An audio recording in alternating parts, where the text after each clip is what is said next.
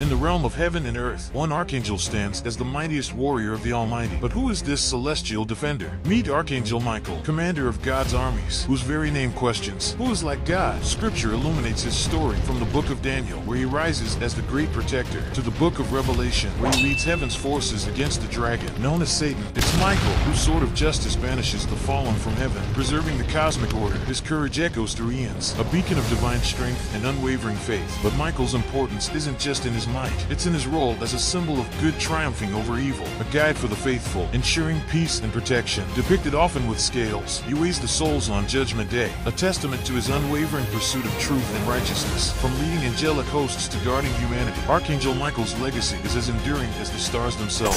Join us again as we unfold more heavenly secrets and unearthly battles. See you in the next tale.